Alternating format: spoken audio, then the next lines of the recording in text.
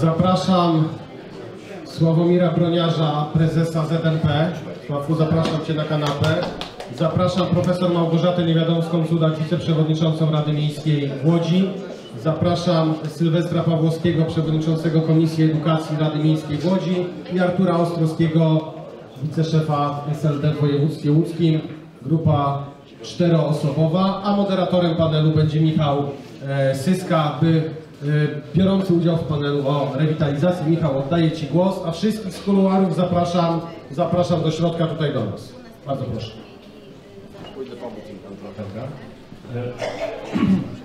Bardzo, bardzo dziękuję Tomkowi za przekazanie głosu, bardzo dziękuję panelistce, panelistom za przyjęcie zaproszenia e, do udziału w tej, w tej dyskusji, która jest niejako kontynuacją, tak mi się przynajmniej wydaje, e, tego tematu, który podejmowaliśmy pierwszej części naszych obrad, bo niewątpliwie edukacja wiąże się także e, z kwestią społeczną, także z tymi kwestiami, które są niezmiernie ważne dla środowisk lewicowych, a mianowicie kwestią emancypacji, równości, awansu itd. itd.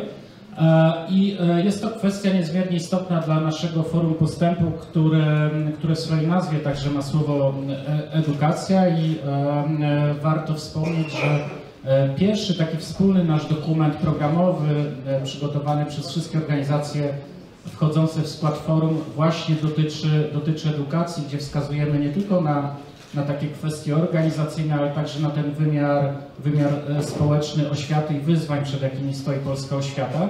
E, To także temat niezmiernie bliski e, mojemu stowarzyszeniu, czyli Ośrodkowi Myśli Społecznej na Ferdynanda Lasala. My kwestie, zwłaszcza związane z, z nierównościami w, w, w edukacji, staramy się podejmować od 10 lat, czego efektem jest innymi E, ta publikacja, komercjalizacja e, edukacji, w której opisujemy negatywne konsekwencje urynkowienia e, polskiej, polskiej edukacji. Ta publikacja powstała we współpracy z panem prezesem Sławomirem Broniarzem i Związkiem Nauczycielstwa Polskiego. Dlatego bardzo się cieszę, że mogę poprowadzić ten panel. I od razu chciałem się zwrócić do e, prezesa, prezesa Broniarza e, z pytaniem e,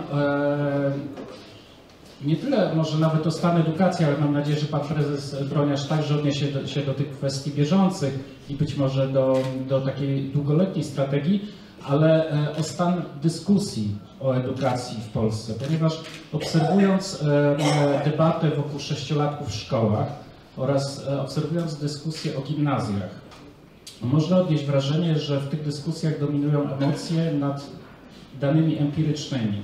Otóż e, z jednej strony w dyskusji o sześciolatkach mieliśmy analizy ekspertów, naukowców, którzy wskazywali, że posłanie sześciolatków do szkół jest z wszechmiar pożądane z różnych, e, z, z wielu bardzo ważkich przyczyn. Jednocześnie mała grupa zdołała zmobilizować e, bardzo dużą grupę e, rodziców, e, e, grając na, na ich emocjach i zablokować tę reformę.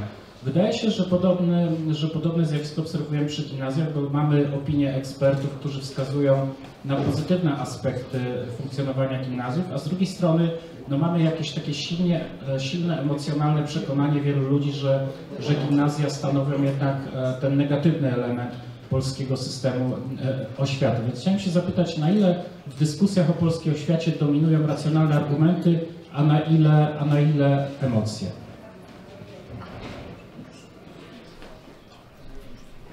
Chyba działa.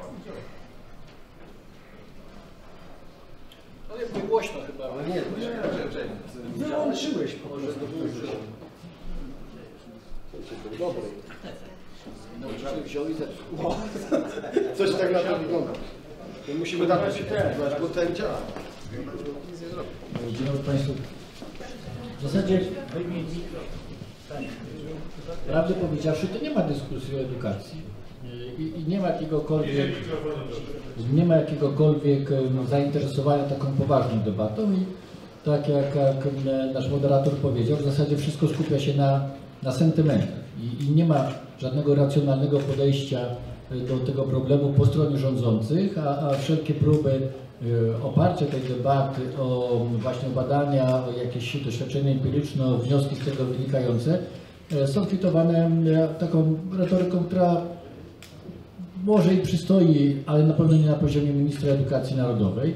Jakby o jakości debaty niech najlepiej świadczy to, co działo się dzisiaj w nocy w Sejmie, gdzie posłowie przyjęli przez aklamację, że dyskusja nad e, poprawkami nie może trwać dłużej niż minuta. E, Dzięki temu w takim trochę stachanowskim tempie do wpół do trzeciej no, przyjęto całą ustawę.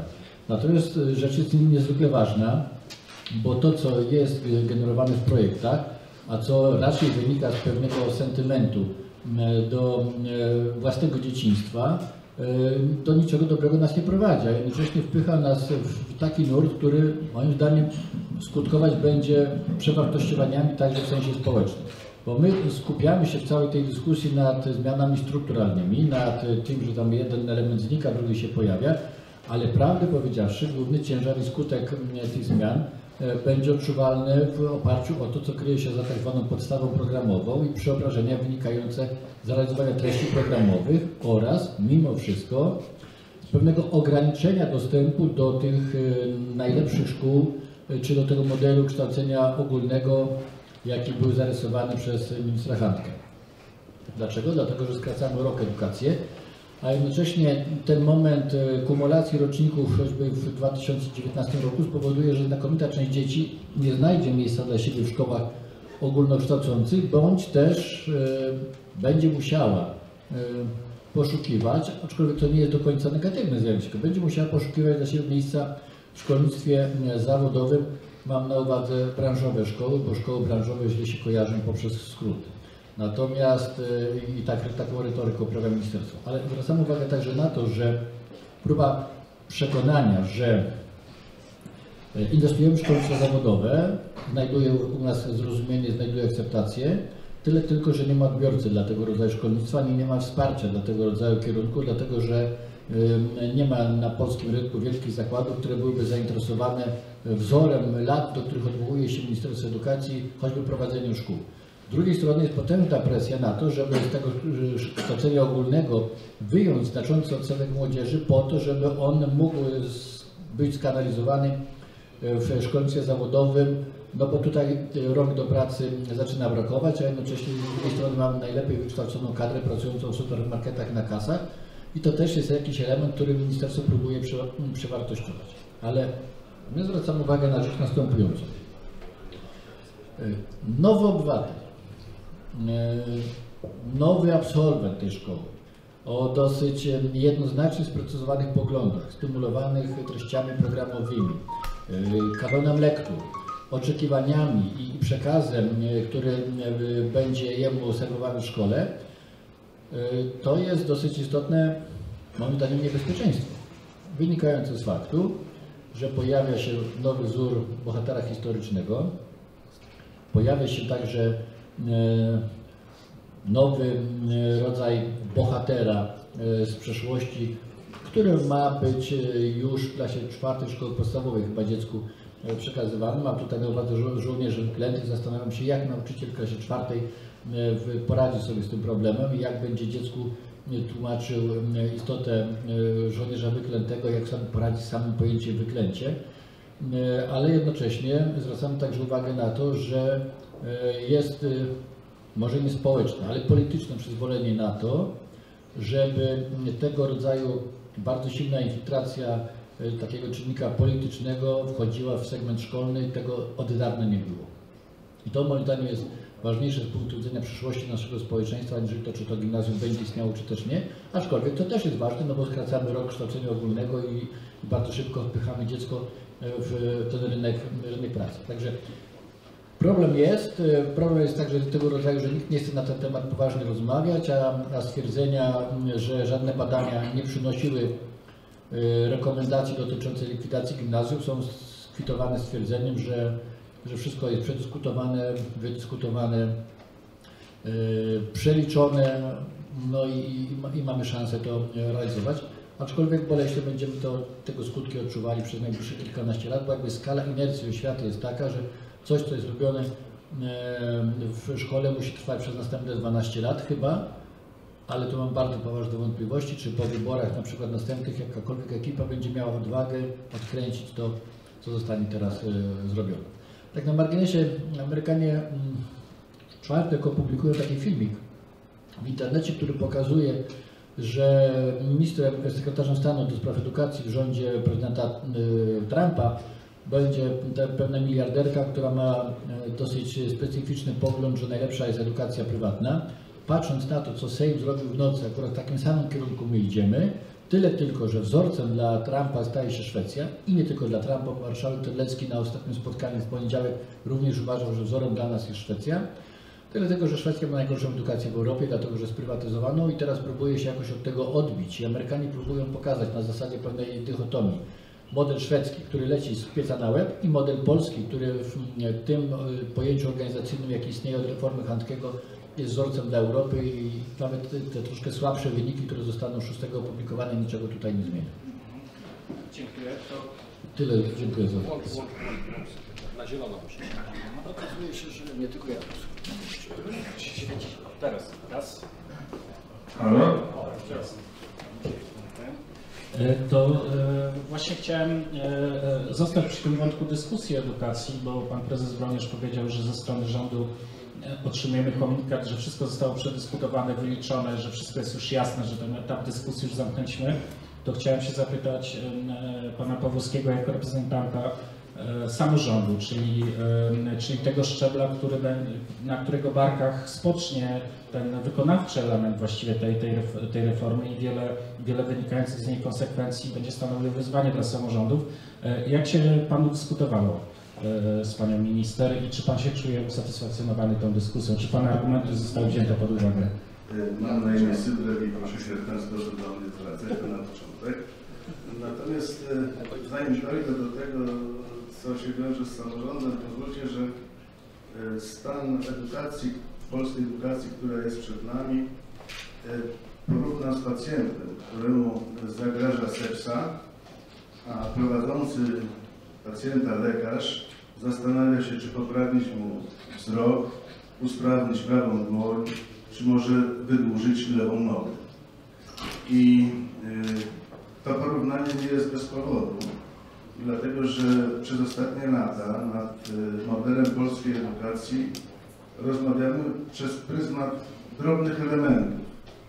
I odnoszę to również do naszego okresu sprawowania władzy, kiedy skupialiśmy się na drobnym elemencie, aczkolwiek istotnym, ale drobnym, jakim jest karta nauczyciela, e, kiedy skupialiśmy się na drobnym elemencie, później, kiedy już nie byliśmy przy władzy, nad tym, czy dobrym rozwiązaniem jest pójście sześciolatków do szkoły, czy nie, E, kiedy zastanawialiśmy się nad tym, czy rozwijać szkolnictwo zawodowe, bo na pewnym etapie żeśmy to szkolnictwo zawodowe zlikwidowali. Natomiast nigdy po okresie transformacji nie spojrzeliśmy na edukację jako na problem, który wymaga, jak ten pacjent, ogólnego spojrzenia, żeby sepsą się nie zainfekować. I myślę, że tutaj trzy kardynalne kwestie są do podjęcia przez nas, lewicę, w przyszłości. Pierwsza rzecz, moim przekonaniu najistotniejsza, to by obok zdrowia i emerytów i rencistów potraktować edukację jako system ogólnopaństwowy, ogólnospołeczny, ponadpartyjny, ponad, nawet bym powiedział narodowy. Dlaczego? Dlatego, że największym zagrożeniem dla emerytów, dla edukacji, dla zdrowia są właśnie kadencje funkcjonowania czy Sejmu i Senatu, czy samorządu. Jeśli uznalibyśmy edukację, zdrowie oraz emerytów i rencistów jako swoiste dobro narodowe, wyłączone z bieżącej gry politycznej, myślę, że naszą jedyną troską przy kolejnych wyborach byłoby zagwarantowanie na te cele środków, ewentualnie różnić się moglibyśmy drogami dochodzenia do istoty sprawy, czyli do przysłowiowego celu. To jest w moim przekonaniu hasło, które po 1989 roku nigdy nie zostało podjęte przez żadną ekipę, nawet tych, którzy z ministrem Hankę na czele e, modernizowali czy rewolucjo- rewolucjonizowali polski system edukacji, tak dla ciekawostki powiem, Tadeusz Matusiak może to potwierdzić jako prezydent, kilka miesięcy, bo to działo się na przełomie marca i kwietnia 99 roku, przyjechał do Łodzi pan minister Handke i zwrócił się do nas z prośbą o to, żeby mu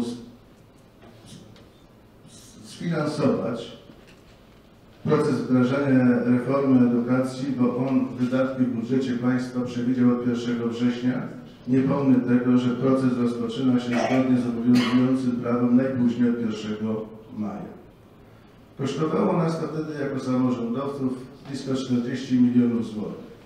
Na pytanie, które pozwoliłem sobie zadać, czy w następnym roku zrekompensuje nam w jakikolwiek sposób te poniesione nakłady, minister powiedział, Panie prezydencie, pan doskonale, tak jak ja, wie, że rok budżetowy skończy się 31 grudnia, a zobowiązania nie przechodzą na kolejny rok jako zobowiązania, powiedziałbym, te tak zwane konieczne, niezbędne. W ten sposób już na początku mieliśmy okazję się zorientować, że przy, przyniesiona rewolucyjnie reforma edukacji tak naprawdę nie obciąża jedynie państwa, ale przenoszona jest na barki samorządu. Jeszcze dodam i za karę wtedy dotację, którą na szkolnictwo powinniśmy dostać e, w grudniu, dostaliśmy w styczniu.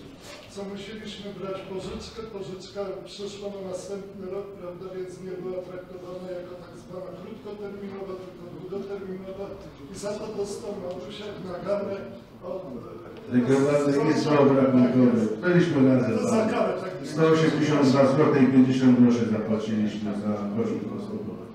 Ale to dziękuję Tadeusz, że zacząłeś uzupełnić. Drugi obszar, który powinniśmy jednoznacznie anektować i przypisać naszym działaniom odnoszącym się w przyszłości do edukacji w kraju, to jest kwestia finansów. Jesteśmy w mieście, gdzie publiczne szkolnictwo wprowadzane przez lewicowego prezydenta Lecego Orzeskiego było dumą naszego miasta. Żyjemy w państwie, w którym dumą są publiczne szkoły, obojętnie jakiego poziomu. Proszę zwrócić uwagę, jak rzadko w rankingach pojawiają się placówki niepubliczne, ale już na pewno jak rzadko pojawiają się w rankingach placówki niepubliczne zajmujące się przygotowaniem zawodowym. Tam nie ma chętnych do wyłożenia kasy. W związku z tym powinniśmy jasno powiedzieć, wszystkie środki publiczne kierujemy do placówek publicznych, czyli odwrotnie do tego, o czym Sławko mówiłeś, co podjął dziś w nocy Sejm. Zresztą tutaj rozumiem teraz te trudne warunki pracy posłów i senatorów. W związku z powyższym podstawowa zasada. Pieniądz publiczny na placówki publiczne.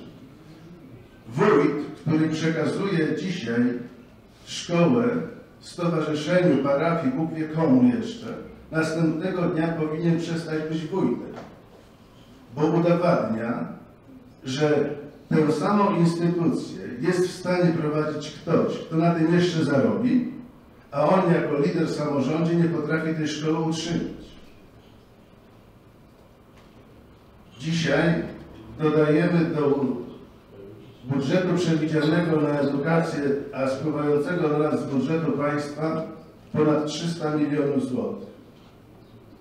Pytanie, na co stać z małą gminę, której wójt właśnie nie potrafi prowadzić szkoły, bo jest specjalny od kanalizacji, od ochrony środowiska, może od niczego nie jest, może od rolnictwa, nie wiem. Dlatego drugim elementem dla, dla naszej formacji, w moim przekonaniu, powinna być kwestia pełnych środków publicznych na szkolnictwo publiczne i to w dodatku w takim zakresie, żeby można było powiedzieć, że tak jak na przykładzie Łodzi, prawie 3000 osób zatrudnionych w łódzkiej oświacie zatrudnionych jest na minimalnych stawkach. Na minimalnych stawkach określonych ustawowo. To jest tak tylko, powiedziałbym, dla zilustrowania problemu. I trzecim elementem mówiącym o tym, co w przyszłości możemy jeszcze wziąć pod uwagę, to jest właśnie samorząd, miejsce, w którym funkcjonuje.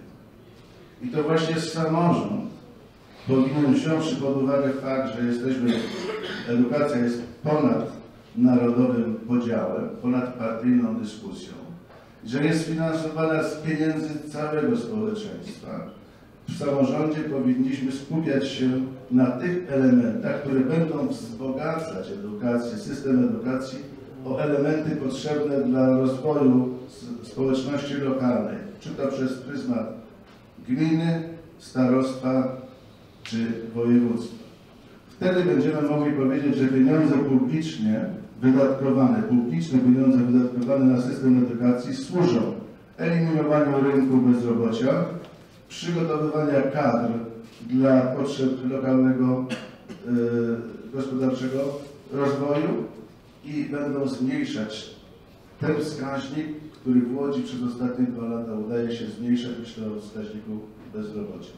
Będziemy przygotowywać uczniów dla potrzeb naszych, a nie dla potrzeb zatrudniających naszych absolwentów w Londynie, w Dublinie czy Bóg wie gdzie jeszcze. Tyle z mojej strony. Dziękuję.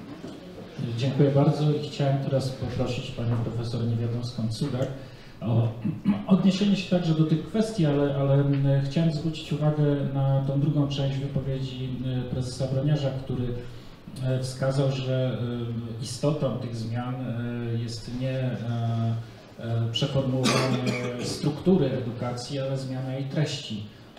Poznaliśmy listę osób, które odpowiadają za nową podstawę programową. E, I jedną z takich najbardziej kontrowersyjnych postaci w tym gronie jest e, pani profesor odpowiedzialna za przygotowanie programu do wychowania w rodzinie, która znana jest po pierwsze z częstych występów w mediach ojca ryzyka, a po drugie znana jest z tego, że lansuje tezę, że środki antykoncepcyjne dewastują psychikę człowieka i rozbijają związki. E, W związku z tym e, moje pytanie, na ile to jest e, poważne zagrożenie dla, e, dla e, no, kształtowania młodych ludzi w szkole czy, i, i- jakich skutków się Pani spodziewa po tej nowej podstawie programowej? Proszę Państwa, e, Pan redaktor już jakby e, odpowiedział na to pytanie, mówiąc e, o tym, czym e, Pani profesor Dudziak się zajmuje i jakie ma poglądy. Dlatego, że to nie jest jedyny ekspert z takimi poglądami, bo jeszcze Pani, która napisała podstawę programową, jeżeli chodzi o matematykę, również także ma podobne poglądy. Niejednokrotnie mm, wykładowcy akademiccy występowali do e, pani minister, mówiąc, że ta lista ekspertów jest e, listą e, bardzo dziwną e, i że e, chyba nie do końca e, przemyślaną. E, Chciałabym tu Państwu powiedzieć, że e, wiele osób się wycofywało e, nie chciało tworzyć tej podstawy programowej, dlatego że e, osoba, która solidnie chciałaby się do tego przygotować, e, no nie zrobi tego w ciągu dwóch, trzech e, miesięcy, na to potrzeba bardzo dużo czasu. Między innymi wcześniej mm, pisało grono 99 e, wykładowców listy do minister mm, Zalewskiej, prosząc o to, aby dokładnie jeszcze przemyślała e, całą tą, wdrażanie całej reformy, ale także i e, listę e, ekspertów. Potem był list otwarty e, ponad 80 e, naukowców, między innymi kilkunastu naukowców z Uniwersytetu Łódzkiego, którzy powtórzyli ten apel do pani minister. No cóż, pani minister niestety nie wzięła tego pod uwagę. Mm, Mówiliśmy tutaj o tych konsultacjach, na które się pani minister często powołuje, ale ja myślę, że to były konsultacje po to, żeby e, pani minister przedstawiła swój pogląd e, i uznała go za e, najlepszy i po to były te konsultacje e, prowadzone, bo e, środowiska akademickiego absolutnie w tym zakresie się e, nie słucha. Na co jeszcze chciałam zwrócić uwagę, na co często pani minister się e, powołuje, między innymi na opinię 26 rektorów z 37, którzy wyrazili się negatywnie o przygotowaniu e, młodzieży do e, studiów. I skąd, proszę Państwa, ta opinia? Kiedyś właśnie NIK przeprowadził takie e, badanie, pytał rektorów o to, jak oceniają e, egzamin e, maturalny i oni stwierdzili, że on nie jest miarodajnym e, czynnikiem do przygotowania młodzieży na studia, ale absolutnie nie wypowiadali się negatywnie o e, tym, żeby i za tym, żeby likwidować e, gimnazja. Natomiast jak się szafuje tymi danymi? No, proszę Państwa, mówi się o 26 e, rektorach przy prawie 430 e, placówkach, e, uczelniach wyższych, publicznych i niepublicznych, więc ta skala jest znacznie wyższa. Jeżeli mówimy o przygotowaniu młodzieży na studiach, to pani minister nie, nie podaje już tego, że w roku dziewię- y, 1990-91 studiowało w Polsce 390 tysięcy osób. 15 lat później tych osób było pięciokrotnie więcej, bo y, milion 950 y, tysięcy. Y, Dlatego na pewno przy takim zwiększeniu liczby studentów ten poziom mógł się obniżyć, gdyż kiedyś jeszcze te studia to rzeczywiście można powiedzieć, że były to studia elitarne, tak? 7% osób studiowało, dziś tych osób studiuje znacznie więcej i teraz czego my od tych studiów oczekujemy? Bo jeżeli stworzyliśmy ten system boloński, no to też oczekujemy, że te studia będą też kształciły w sposób praktyczny i tą wiedzę przygo- przygotowywały trochę inaczej. My mówimy tutaj o reformie edukacji, bo no, jest ona teraz e, przez Sejm w najbliższych dniach będzie już uchwalana, ale ja chcę Państwu powiedzieć, że pracuje się, trzy zespoły pracują także nad zmianą w ustawie o szkolnictwie wyższym. E, I my te zmiany mamy po, poznać e, dokładnie we wrześniu 2017 roku będzie organizowany e, takie mm, centralne, centralny kongres naukowy w Warszawie i tam mamy poznać zmiany w szkolnictwie wyższym.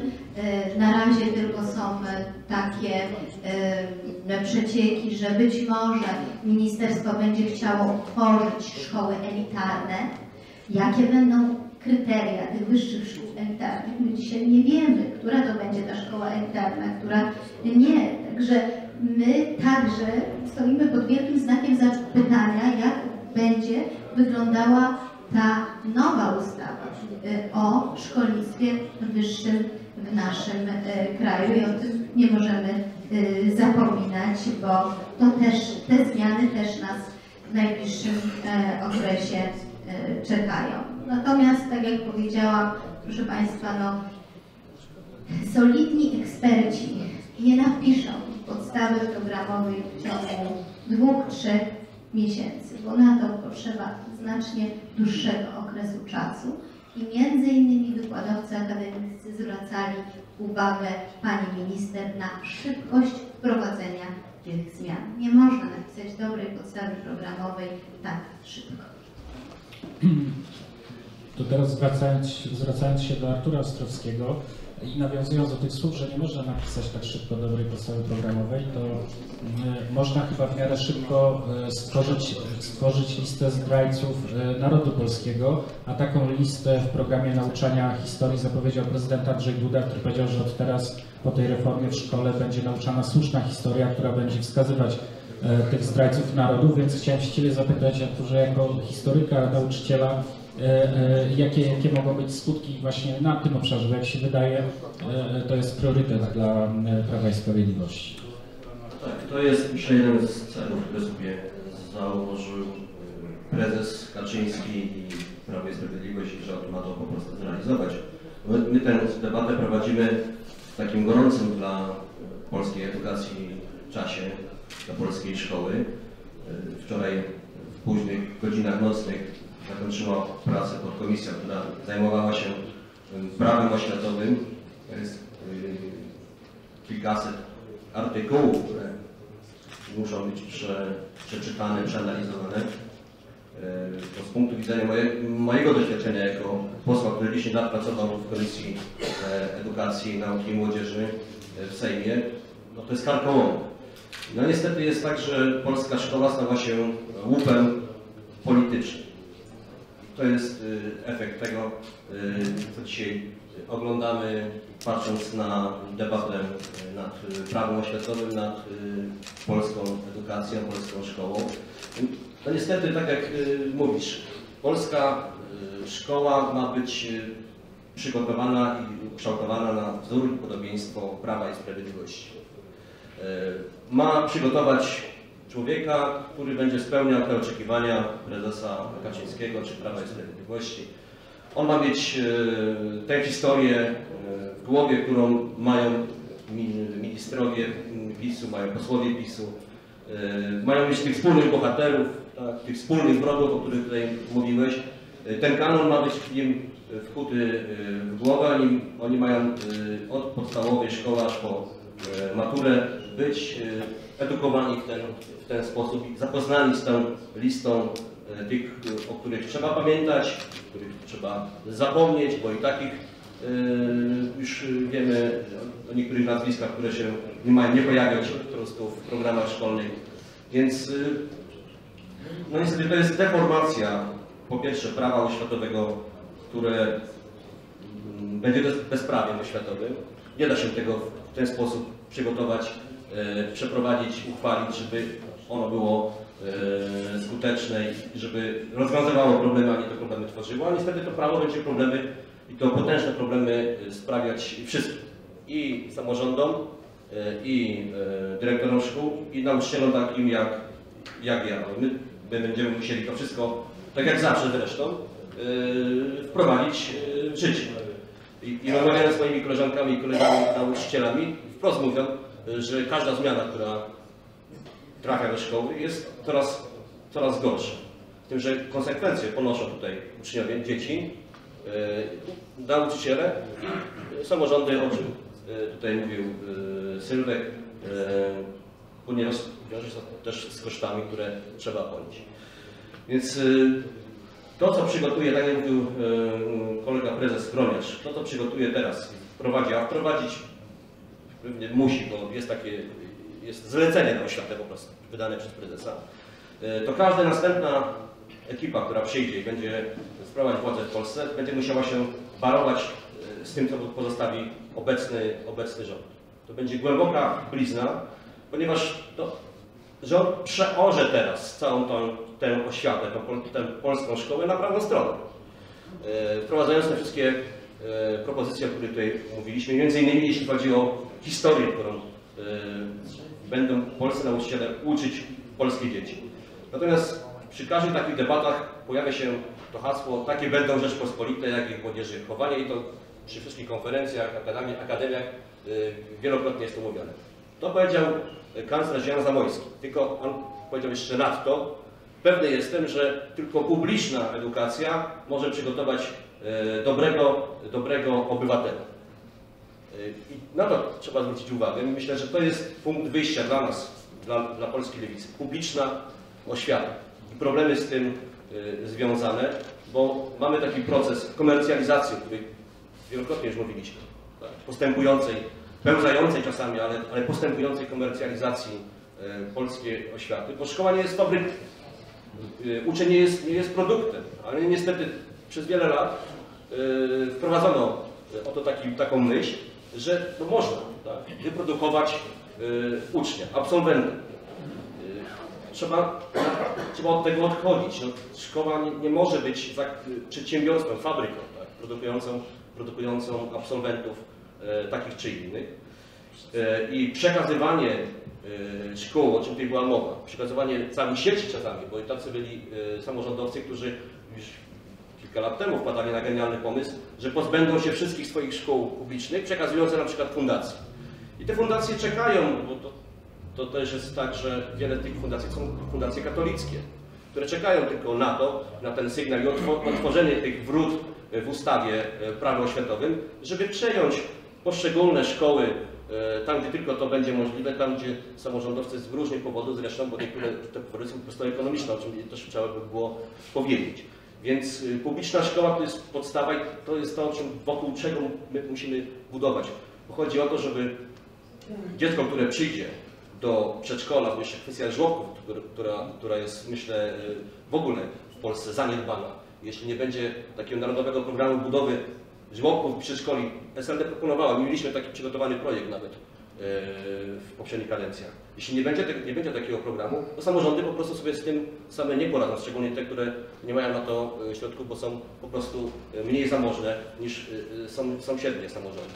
Więc polskie, polskie dziecko idąc do żłobka, czy do przedszkola, czy do, do szkoły, y, to, to wyrównywanie szans, o czym tu musimy powiedzieć, bo to jest ten nasz cel, tak? publiczna szkoła i wyrównywanie szans, że bez względu na to, czy, czy to dziecko ma zamożnych rodziców, czy niezamożnych, tak? czy, czy, czy pochodzi z takiego, czy innego domu, to musi mieć jed- jednakowe, jednakowe szanse. To, ta szkoła musi mu stwarzać te możliwości.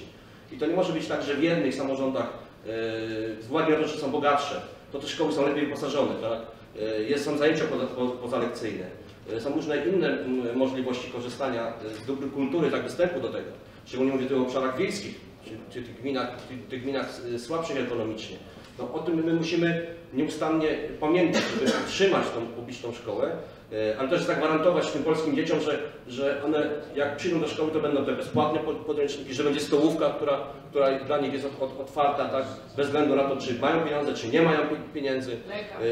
E, To jest stomatolog w szkole, tak, to jest gabinet lekarski w szkole, to jest to, żeby był psycholog, logopeda, y, który, który jest na miejscu, tak?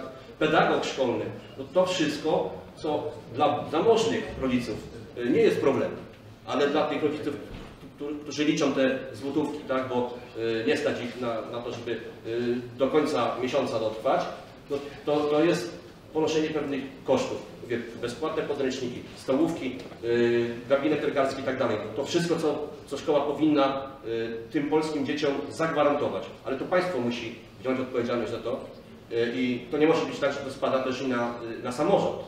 To, czy w Łodzi, czy to w Zgierzu, czy Piotrkowie, czy, czy w Wałbrzychu, czy we Wrocławiu, bo yy, te środki muszą wystarczyć na to, żeby zapłacić nauczycielom. To jest, to jest myślę, yy, dla lewicy też punkt odniesienia, że polski nauczyciel musi mieć stabilizację zawodową i, i finansową. I za to odpowiedzialność musi wziąć y, państwo. To nie może być tak, że spada to na, na samorząd i samorząd musi jakoś, y, jest ustawa, ale wy musicie y, wypłacić. No faktycznie y, samorządy dokładają, ale odpowiedzialność za to musi wziąć państwo polskie i te nakłady muszą wzrastać, bo nie wiem, czy prezes y, potwierdzi, potwierdzi te dane statystyczne, ale jeśli chodzi o nakłady na jednego ucznia w Unii Europejskiej, to my nie, to my nie jesteśmy na początku, tylko na końcu tej, tej listy. Więc mówienie o tym, że, że subwencja wystarcza, że y, wzrastają nakłady, nie to, to, nie, to jest nieprawda. Czyli często na jednego, na jedno dziecko w Polsce, na jednego ucznia, to tych pieniędzy niestety jest za mało. I państwo polskie, pol, polskie musi ten problem rozwiązać. To, że teraz wprowadzają pewne zmiany, które i tak jeszcze, jeszcze bardziej to wszystko e, e, skonfliktują, e, jeszcze, jeszcze narobią większych problemów, bo szkoła powinna być poza tym, tym nie może być łupem politycznym. To musi być zgoda narodowa, pewien konsensus tych wszystkich, którzy są w oświacie, którzy są wokół oświaty. Nauczycieli, samorządów, rodziców, tak? Wszystkich tych, którzy siedząc przy jednym stole zgadzają się, że w tym kierunku powinniśmy iść wspólnie, ale nie można to robić w ten sposób, jak to robi teraz rząd, wyciągając pług tak? I, i przeorując y, całą oświatę y, wzdłuż i wszerz, bo trzeba powiedzieć o, o tym, że to nie chodzi tylko o gimnazja. To nie jest problem likwidacji gimnazjum. Tu chodzi o to, że nawet jak się wyciąga jeden kamyk z tej e, piramidy, jaką jest e, polska edukacja, to wywołujemy całą lawinę e, zmian. A w tym momencie ta lawina będzie ze stratą dla dziecka, dla ucznia, dla rodziców i dla nauczycieli. Ale przede wszystkim musimy mieć na celu publiczną oświatę i wyrównywanie szans, tak żeby te polskie dzieci miały stworzone jak najlepsze warunki od żłobka aż po, aż po e, szkoły ponadgimnazjalne i to, żeby mogły później studiować, tak, studiować na wyższych uczelniach. To jest myślę cel e, dla lewicy najistot, najistotniejszy. Bardzo dziękuję i zanim e, zachęcę Państwa do włączenia się do dyskusji, jeszcze chciałbym zapytać prezesa Broniarza no, o kwestie e, najbliższych miesięcy, ponieważ e, e, no, mamy rząd, który dąży do przeforsowania tej reformy, jednocześnie mamy protesty Związku Nauczycielstwa Polskiego. I moje pytanie jest takie, ponieważ e, w Polsce proces komercjalizacji usług publicznych, bo to nie tylko dotyczy edukacji, ale także służby zdrowia, służby zdrowia nawet w większym, wydaje mi się, e, zakresie. E, e, e, No te procesy komercjalizacji, one zawsze mają takie skutki, że po pierwsze, e, po pierwsze e, uderzają w ludzi zatrudnionych w tym sektorze, znaczy to zawsze wiąże się z pogorszeniem warunków e, pracy. E, Po drugie, to e, najczęściej wiąże się także z obniżeniem e, jakości i, i także dostępności tych usług. Ale właśnie ze względu na to, że pierwszymi ofiarami padają pracownicy tych sektorów, no to oni pierwsi podejmują protesty. E, To były protesty pielęgniarek, teraz ZNP akcje przeciwko przekazywaniu szkół publicznych w ręce e, instytucji niepublicznych prowadzi już od, od, dłuższego, od dłuższego czasu. E, I moje pytanie jest e, takie, e, czy można w Polsce stworzyć sojusz pomiędzy pracownikami tego sektora? Bo wydaje mi się, że warunkiem powodzenia takiej akcji jest to, aby na przykład pacjenci zrozumieli, że komercjalizacja szpitali e, jest wbrew ich interesowi. E, I podobnie ma się rzecz z edukacją. I moje pytanie brzmi, czy po pierwsze, czy e, widzi Pan szansę na stworzenie takiego sojuszu pomiędzy Związkiem Nauczycielstwa Polskiego a rodzicami, aby stworzyć taki bardzo szeroki front, który być może wymusiłby zastopowanie e, tej reformy bądź jej daleko idącą e, e, rewizję. E, Znaczy taki sojusz, czy zaczątki takiego sojuszu mamy, ale on jest dosyć mizerny. Dlaczego? Dlatego, że no, lekko to strywializuje. Nauczyciele nie są ulubioną grupą społeczną, bo, bo najczęściej się przywołuje jakieś takie przyżynkarskie elementy jak e, ferie i wakacje. Z drugiej strony, my naprawdę nie interesujemy się światem. Jako społeczeństwo e, edukacja jest traktowana jako jeden z ostatnich elementów e, w tej dyskusji. Dlaczego? Dlatego, że e, wydaje nam się, że to jest tak oczywiste jak odra w dzieciństwie, wszyscy przez to muszą przejść. Specjalnie nie zastanawiamy się nad różnego rodzaju niuansami, nad skutkami, nad konsekwencjami pewnych zdarzeń. Także dlatego, że mm, edukacja dosyć e, silnie, e, że tak powiem, i dosyć, dosyć zwarty sposób przebrnęła przez cały proces transformacji, nie tracąc e, takiego potencjału jak chociażby łódzki przemysł chemiczny. Bo, de facto liczba nauczycieli jak nie spadła tak gwałtownie, malowali szkół, wręcz przeciwnie. Więc na edukację patrzymy jako na pewien koloryt, na edukacji mamy się wszyscy, to jest rodzaj takiego small talku i w dobrym tonie się wypowiedzieć, e, negując coś albo krytykując coś, nie mając za tym e, do, tego jakichś większych podstaw. Mówię o tym dlatego, że e, gdyby naprawdę społeczeństwo przyglądało się temu, co się choćby dzisiaj w nocy w Sejmie wydarzyło, gdyby społeczeństwo zdawało sobie sprawę ze skutków, z konse- z konsekwencji przeobrażeń, gdyby wiedziało, jaką rolę odgrywa edukacja, to może, nie wiem, oprócz społeczeństwa byłoby przeciwko wydawaniu kolejnych 8 miliardów na kopalnie. Może byśmy się zastanowili, dlaczego płacimy za monstrualne rachunki, e, ratując e, deficytowe górnictwo, ale to także pokazuje, że z drugiej strony trudno liczyć na jakiś sojusz z innymi grupami zawodowymi, bo tutaj każdy ma rozbieżne interesy. Natomiast e, zwracamy także uwagę na to, że początek tego sojuszu, tak jak powiedziałem na wstępie, jest, ale tylko w grupie najbardziej świadomych rodziców. Dlatego, że debata o gimnazjach sprowadza się do stwierdzenia, ja e, e, przeszłam, czy przeszedłem tą szkołę, tę szkołę i wyrosłem na dzielnego e, przywódcę narodu i jakoś na świat się nie zawalił. Natomiast nikt... Przywódca narodu siedmiolatkę kończy. e, Nie, Siedmiolatkę Tak? kończy przywódca narodu. W każdym razie chodzi o to, że jakby nie ma takiego pogłębionego zainteresowania tymi zmianami, które są chociażby generowane. Dlaczego? Dlatego, że jeżeli byśmy się poważnie nad tym zastanowili, to, to wielu rodziców powinno wyjść na ulicę i protestować przeciwko temu, co dzieje się w odniesieniu do ich dzieci.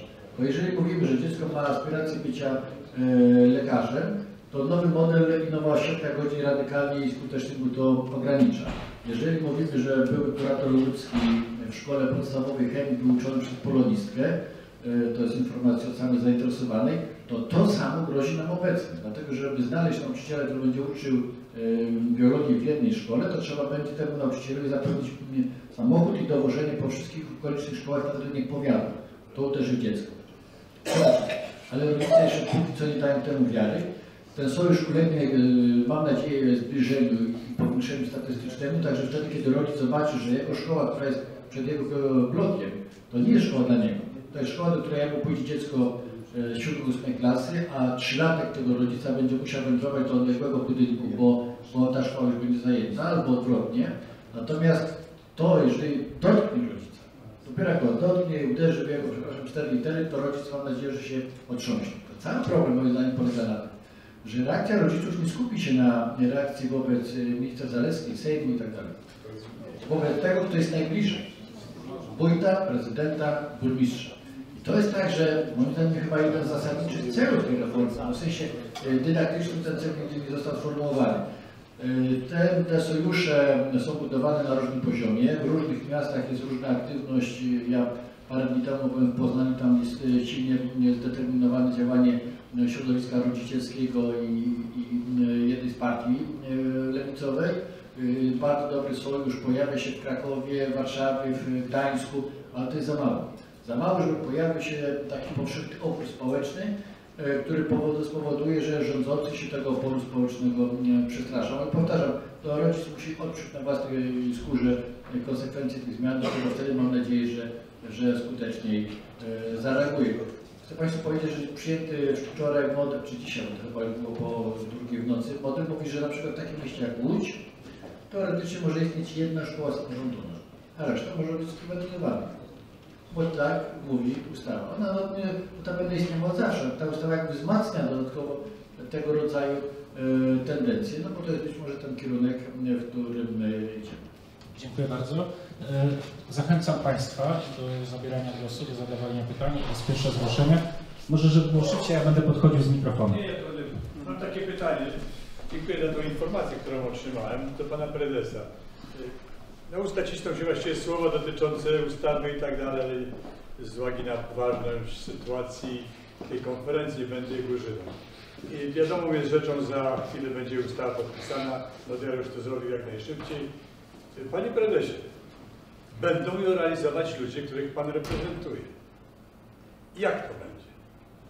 Ilu jest ludzi takich, którzy będą, no nareszcie jest prawdziwa historia? Waszych po prostu placówka. A jeśli nie, czy macie możliwość, żeby po prostu przygotować, żeby te dzieciaki nie odczuły tego, że akurat nagle po prostu coś y, jest nie tak? No to jest istotne. Ja, ja z tego zrozumiałem, że ta struktura organizacyjna nie jest już tak istotna w tej chwili. Bardziej groźny jest właśnie program, co Małgorzata powiedziała. Nikt się tego nie chce podjąć. Ale tak on musi być napisany. Proszę odpowiedzieć, jak pan to widzi? To może najpierw zbierzemy kilka pytań. Czy jeszcze ktoś z Państwa? Są jeszcze pytania? Jest Pani, proszę. Dziękuję bardzo. Witam serdecznie, Janina Graczyk, koło Widzę Stary.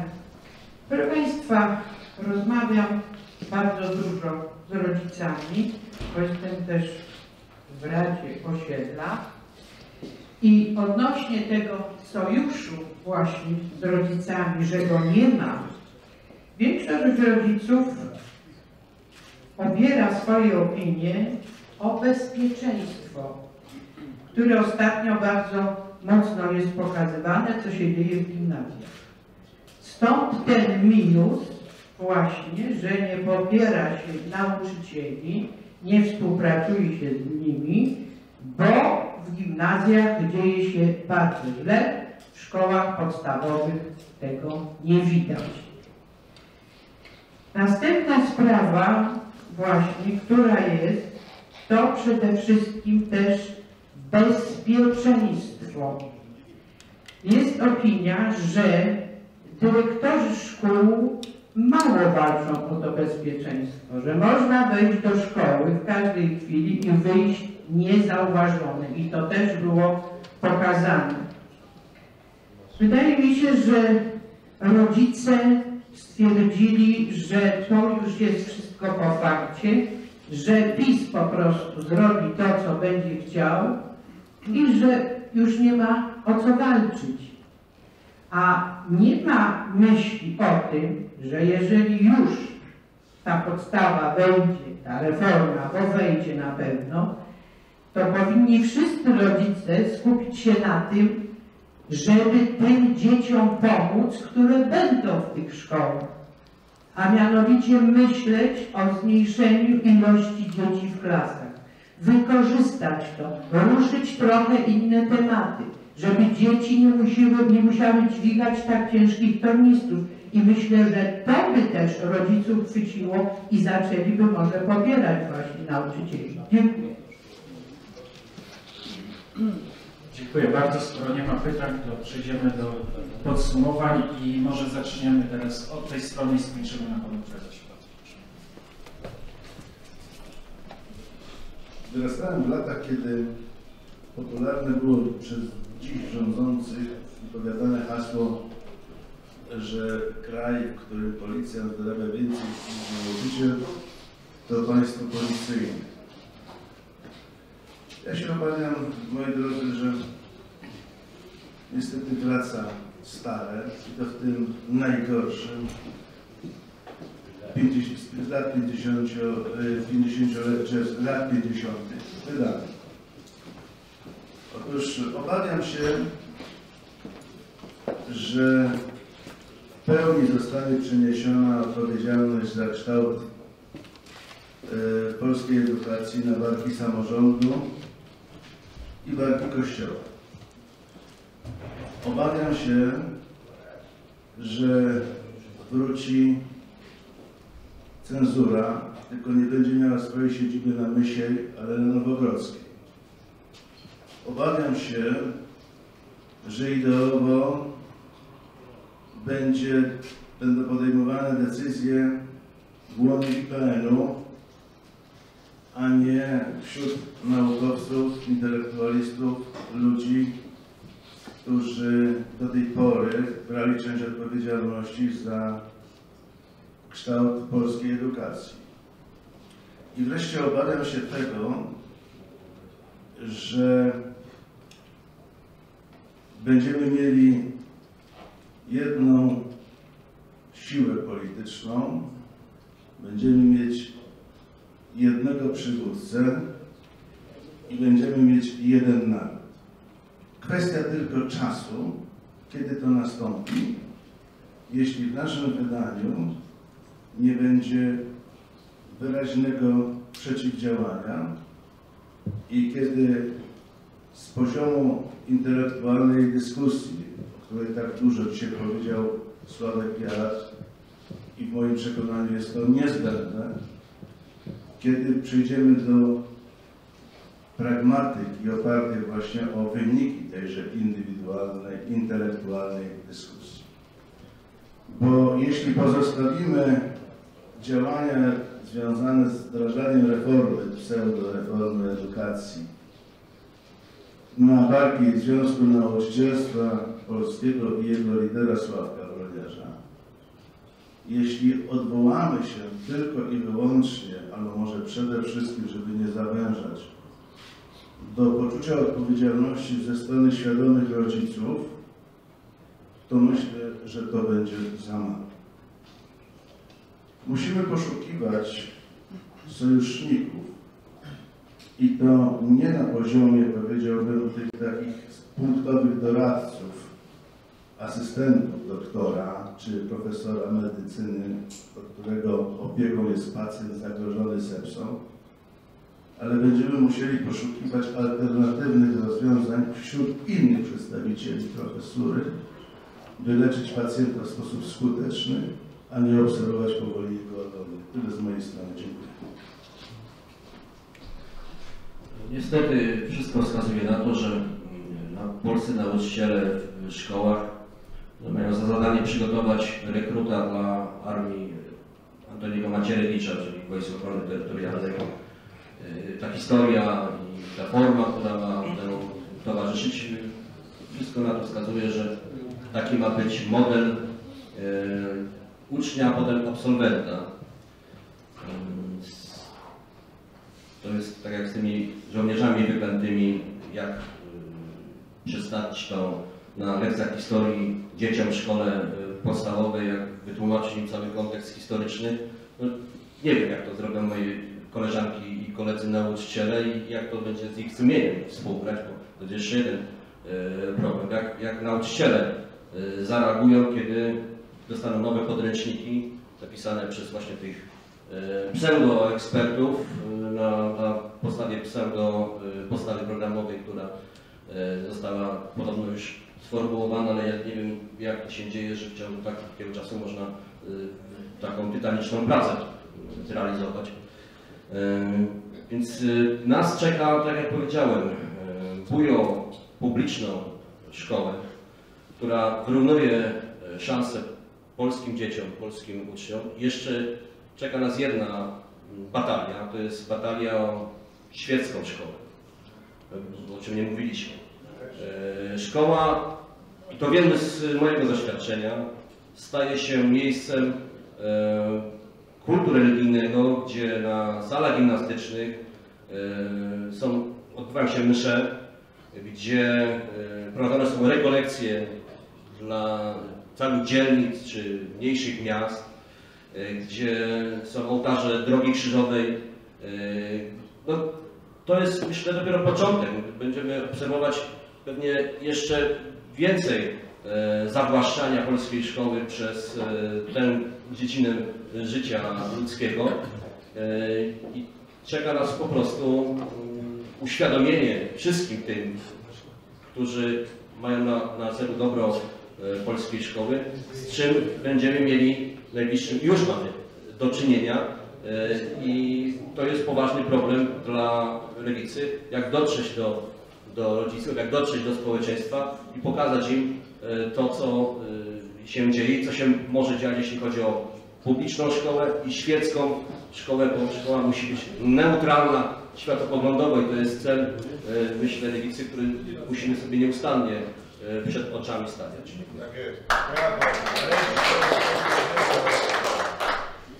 Jak dotrzeć do społeczeństwa właśnie poprzez jego edukowanie, panie pośle. Natomiast e, wszystko idzie w tym kierunku, aby polska szkoła nie była szkołą nowoczesną, innowacyjną, kreatywną. E, I e, dlatego między innymi powołuje się takich ekspertów, którzy mają e, pisać programy nauczania, chociażby jeżeli chodzi o wychowanie w rodzinie. Pisze to osoba o skonkretyzowanych poglądach, dla której środki antykoncepcyjne są grzechem, tak? E, O czym zresztą pisałam w moim artykule do e, trybuny pod e, takim e, dosyć interesującym tytułem Pigułka na e, seks. I między innymi w tym artykule wypowiedziałam się, co sądzę o pani profesor mm, Dudziak. E, Ale proszę Państwa, tutaj mówiliśmy o nakładach na edukację. Chciałabym też zauważyć, że na mm, e, badania naukowe wydaje się w naszym e, państwie bardzo mm, niewiele i e, mm, pracuje właściwie te nakłady, które w tej chwili są, pracują nas na 37 pozycji na świecie. To jest dosyć odległa pozycja, czyli to też wskazuje na, na to, w jakim kierunku rząd chce, aby ta nasza edukacja poszła. Tutaj była mowa o e, tym, że szkoły, gimnazja nie są bezpieczne. I to jest taka manipulacja, proszę Państwa, społeczeństwa, bo e, bierze się jakiś przykład, pokazuje go się w mediach i w ten sposób manipuluje się społeczeństwem, tak? To jest jakaś tam jedna jednostkowa e, szkoła, gdzie był taki e, przypadek. No i oczywiście e, nagłaśnia się tą sprawę w mediach narodowych i w ten e, sposób rodzice już wiedzą, że gimnazja nie są bezpieczne, a wszystkie badania e, do tej pory prowadzone wskazują jednak na to, że to właśnie szkoła podstawowa jest tą szkołą bardziej niebezpieczną niż gimnazjum. Ja nie chcę, żebyśmy także o gimnazjach mówili poprzez swoje subiektywne odczucia, bo jak ja się zapytałam studentów, jak wspominają ten swój okres gimnazjalny, no to padały też różne opinie, bo niektórzy studenci mówili, że e, oni bardzo dobrze wspominają to gimnazjach, a pamiętajmy o tym, że gimnazja dawały szansę przeniesienia się do innego środowiska, o czym my dzisiaj zapominamy, tak? E, Przecież gimnazja to jest twór, który istnieje 17 lat, który e, przez ten okres także został modyfikowany, gdzie przychodzili nowi zupełnie e, nauczyciele i dajmy mu się dalej rozwijać. Jeżeli mówiłam tutaj o rektorach, rektorzy przede wszystkim wskazywali właśnie, że musi być zmieniona, e, muszą być zmienione programy nauczania, bardziej dostosowane właśnie do tych studiów.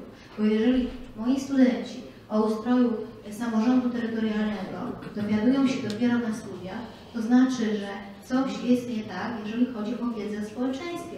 Oni przecież tam powinni się uczyć, jak funkcjonuje samorząd, jakie kompetencje ma organ stanowiący i wykonawczy, bo potem będą wybierali oni tą władzę samorządową. I dlaczego to jest tak ważne?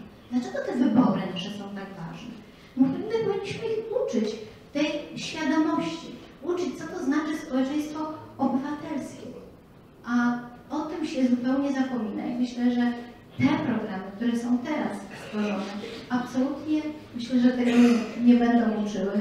My znowuż będziemy mieli program narodowo-patriotyczny, a proszę Państwa, teraz tych instytucji narodowych tworzy się naprawdę bardzo dużo. Będziemy mieli e, chyba e, Narodowe Centrum e, Rozwoju Społeczeństwa Obywatelskiego. Ja też słyszałam, że będzie Narodowa Agencja Wsparcia Akademickiego, proszę Państwa. I mamy znowu słowa klucza. Ty- Tymi słowami e, to są przede wszystkim narodowy, patriotyzm, suweren, rodzina. To słyszymy od e, obecnej e, władzy i chciałabym, żebyśmy także na to zwrócili uwagę i proszę Was, abyśmy nie poddawali się tej manipulacji. Bardzo Was o to proszę. Dziękuję. Może na zakończenie, bo mi się przypomniały takie słowa profesora Bartoszewskiego, bo tak mówiliśmy o tych ekspertach. Może ja mm, zacytuję profesora Bartoszewskiego słowa i on powiedział coś takiego, że jeżeli ktoś urodził się człowiekiem, to łatwiej mu jest być człowiekiem niż stać się świnią.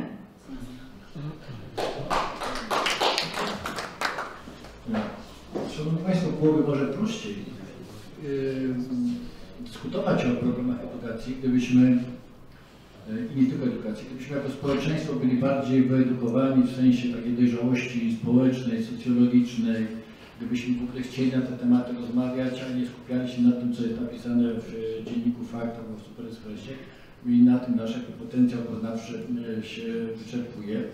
A mam wrażenie, że, że w takim kierunku zmierzamy. Bo jeżeli jakby spokojnie przechodzimy do porządku dziennego nad stwierdzeniem, że rząd będzie nam e, organizował społeczeństwo obywatelskie, to znaczy, że nie wiemy nadal, co to jest społeczeństwo obywatelskie. Jeżeli e, wypowiedź szefowej Kancelarii Prezesa Rady Ministrów, e, cytuję, póki co, w Polsce mamy swobodę wypowiedzi póki co, nikogo nie poruszy i nikogo to nie interesuje.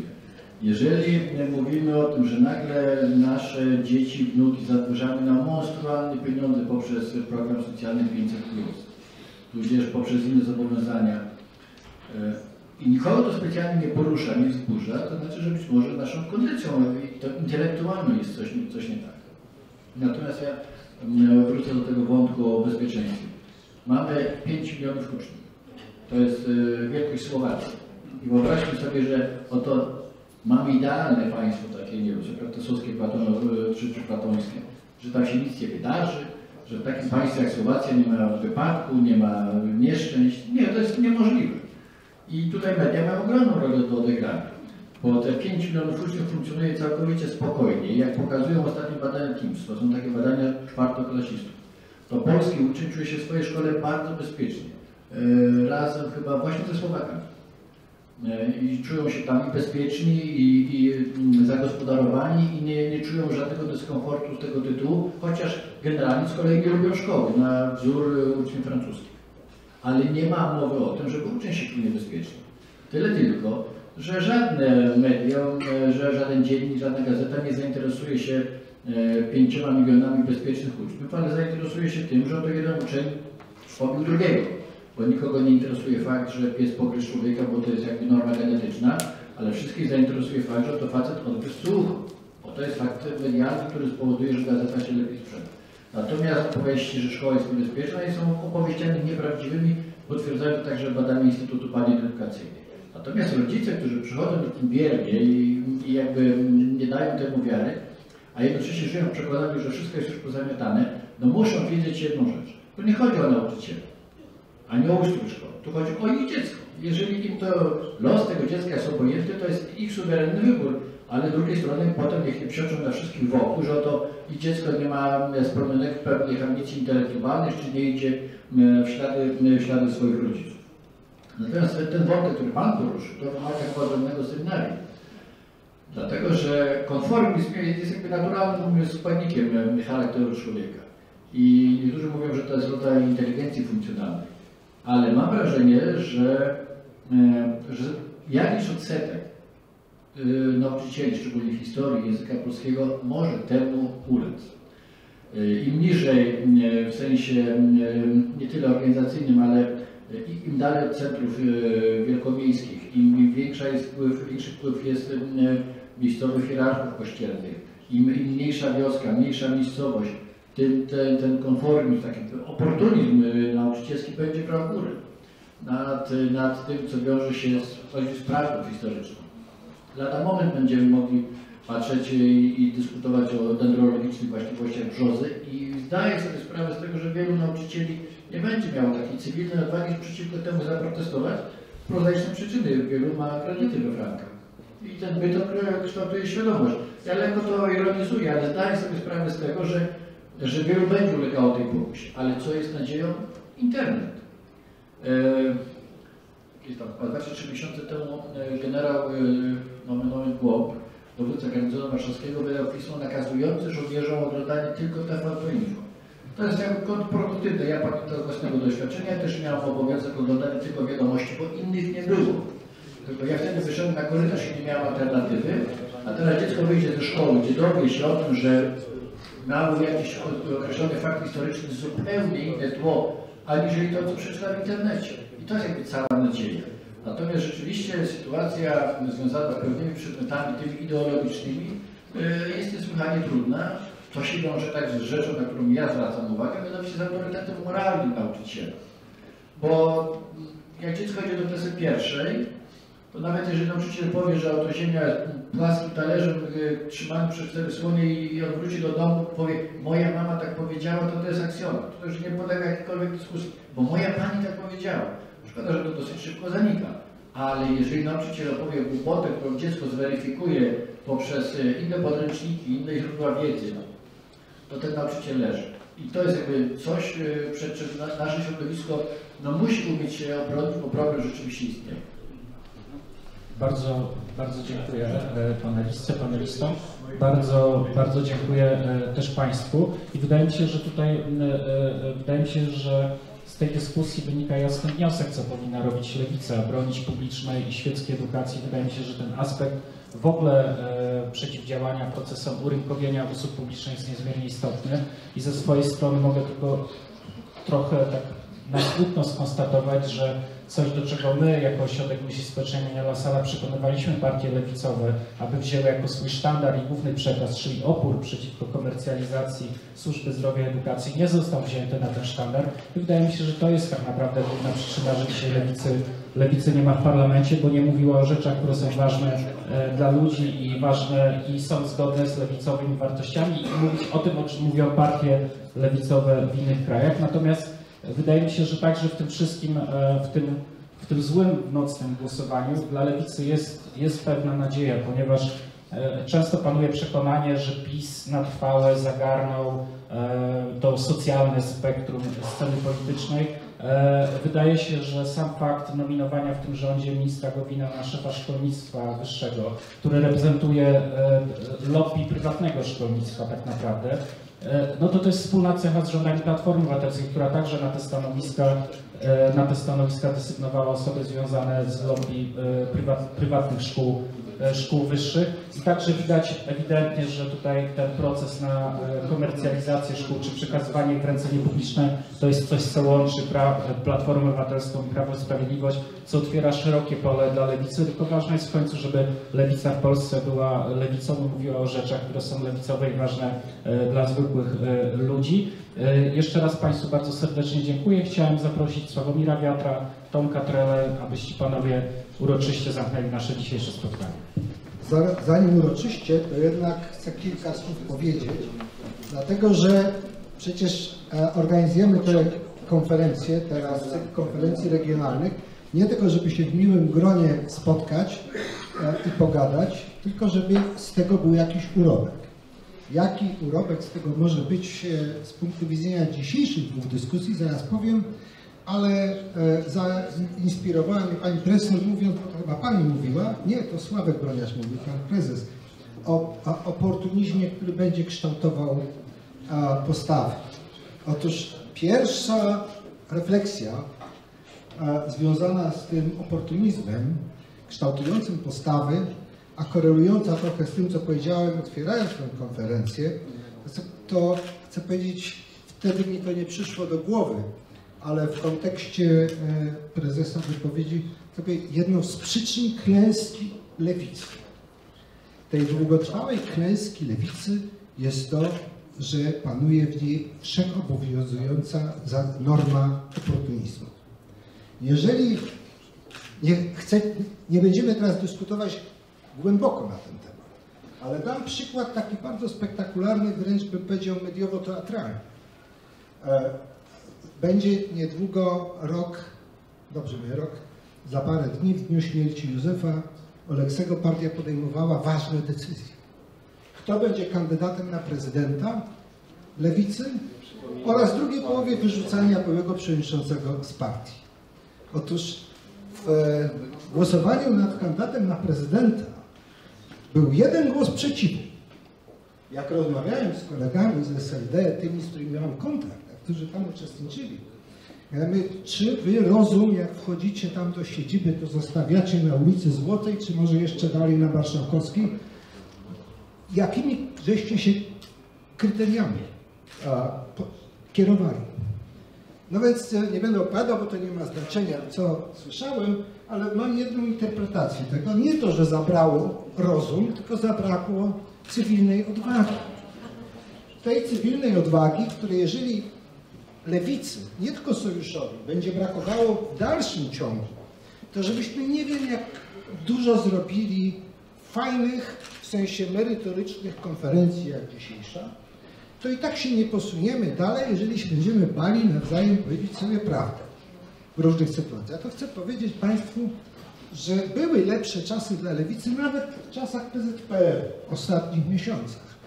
E, że można było wtedy trochę kontestować. Ba, więcej niż normy SLD-owskie ostatnich lat przewidywały wewnątrzpartyjnej, e, wewnątrzpartyjnych, że tak powiem, norm.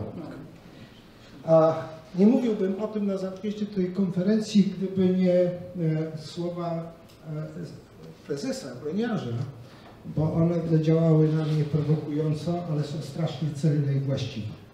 Proszę Państwa, Lewica Razem przygotowała w zeszłym roku projekt, program wyborczy. Ja przygotowując stanowisko z kolegami w sprawie edukacji opublikowane w Dniu Edukacji Narodowej sięgnąłem do tego dokumentu i sięgałem do niego kilkakrotnie.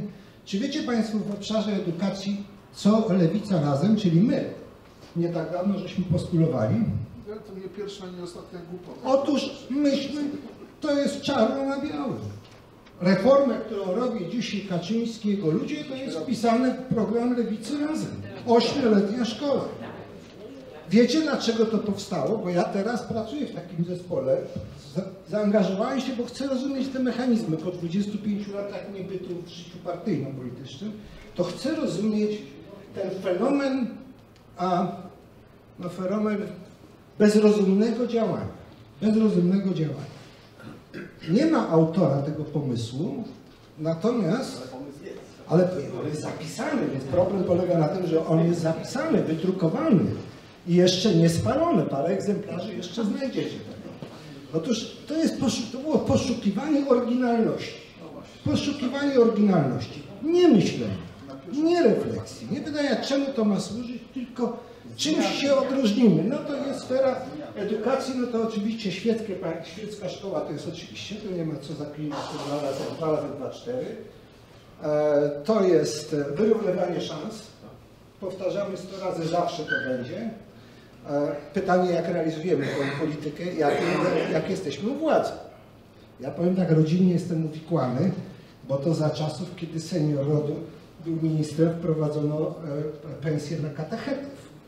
Więc jakaś część odpowiedzialności za tamte rozwiązania spada też na rodziny. Ale nie to, żeby z czego żyć. Ale to byłoby Proszę Państwa, nie chcę wchodzić w detal, tylko chcę, przy- przypomniałem sobie w związku z tym, że Darek Szymczycha tu jest, a w 1989 roku byłem odpowiedzialny za stolik młodzieżowy w czasie spektaklu pod tytułem Okrągły Stół. Mało kto to pamięta. Jak myśmy zrobili sztabowe posiedzenie, to wiedzieliśmy, co strona solidarnościowa przyniesie.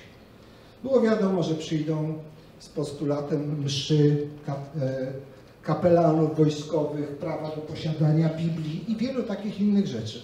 No a myśl 40 parę lat matka partia miała wpływ na wszystko, co my możemy zaprezentować na tym stoliku młodzieżowym. Otóż chcę Państwu powiedzieć, że to był jedyny podstolik, z którego nie ma protokołu uzgodnień, jest opublikowany długi protokół rozbieżności. Jedyny obszar, w którym powstał protokół rozbieżności.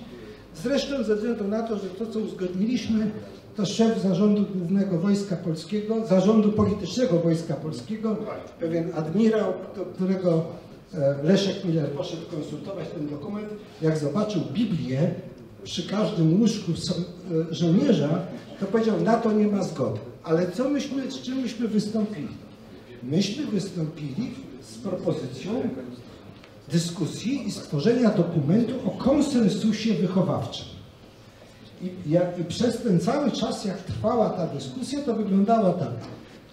Rokita czytał e, listę e, pobitych, ktoś e, dotykał problemów e, prawa do, do obrządków religijnych w wojsku, a myśmy mówili o konsensusie wychowawczym. Otóż pomysł konsensusu wychowawczego był mój, mój autorski, bo coś, o czymś trzeba było mówić, to się nawet ułożyło w pewną sensowną rzecz. Po ponad ćwierć wieku, jak przygotowaliśmy materiał do uchwałę Forum Postępu, a wróciliśmy do tego, chociaż nie nazywamy tego konsensusem wychowawczym, tylko w kontekście dewastacji w sferze edukacji, oświaty, która się właśnie dzieje, piszemy o konieczności stworzenia takich mechanizmów, również rozwiązań prawnych, które uchroni w przyszłości system edukacji przed łatwymi zmianami na zasadzie łupu politycznego. No, przez ileś kadencji kolejne rządy nie, specjalnie tam nie, e, nie mieszały. Otóż teraz się zastanawiam, jak oczywiście przeczytacie sobie Państwo na forum postępu.pl, tam jest to opisane. Zacząłem się zastanawiać w trakcie, i to jest dla nas zadanie pewne, e, bo coś z tego, co dzisiaj dyskutujemy, powinno być przedmiotem dalszych, e, no, dalszych prac i pogłębionych, a nie tylko hasłowych programów politycznych, bo za trzy lata, żeby móc wrócić gdziekolwiek, gdziekolwiek, żeby móc wrócić, to trzeba wiedzieć samemu po co, a nie tylko żeby, e, i jeszcze z tym po co przekonać otoczenie społeczne. To się zastanawiam, czy najpierw e, projektować mechanizmy konsensusu edukacyjnego, czyli chronienia systemu edukacji przed właśnie takimi mechanicznymi, prostymi zmianami, czy najpierw, czy mieć to jako cel strategiczny przyszły, bo przecież zanim konsensus, to trzeba będzie coś zrobić z tą dewastacją, która w tej chwili następuje. Tę dewastację, ja nie wiem, czy to będzie trwało 3 lata jeszcze, rządy kolegi z, z Żoliborza, bo oba jesteśmy żoliborscy, A czy, e, czy to będzie trwało dłużej? Ja mam nadzieję, że, że nie będzie trwało dłużej. To zależy od lewicy. Znaczy, jeśli lewica się nie zmobilizuje, to to będzie trwało tak długo, że z punktu widzenia życiu, życia biologicznego nie do wytrzymania. E, Otóż ja uważam i będziemy nad tym pracować i w Forum Postępu Edukacja, Kultura, Polityka nazwaliśmy naszą inicjatywę, przy czym edukacja jest nie rozumiana wąsko i sprowadza się do tego, co reprezentuje między innymi prezes Broniarz, tylko bardzo szeroko, w tym edukacja obywatelska i polityczna. A takiej nie ma. Tak. Kulturę też rozumiemy nie jako kulturę przez duże K i sieć e, instytucji kultury i tak zwanej kultury, jako również kultury politycznej, czyli kształtowanie obyczaju politycznego, w tym w naszych środowiskach. Między sobą, żeby dyskutować, jakąś normę kulturową musimy e, zbudować. I wreszcie polityka, dlatego że to wszystko jakoś tej polityce ma służyć.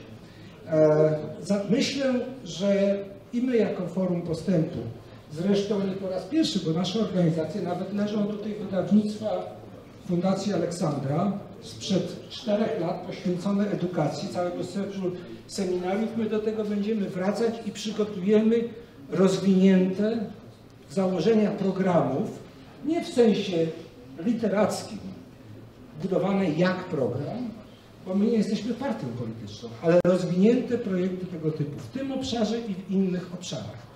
I trzeba się przygotować na to, żebyśmy byli gotowi, ale również mieli partnerów po stronie innych partii politycznych, żeby jak najszybciej, czyli w dniu zaprzysiężenia przyszłego Sejmu, mieć projekty, w których się będzie odbudowywało to, co w tej chwili jest dewastowane. Z mojej strony dziękuję. Tomek, Znaczy ja jedno zdanie, bo już tyle powiedziałeś.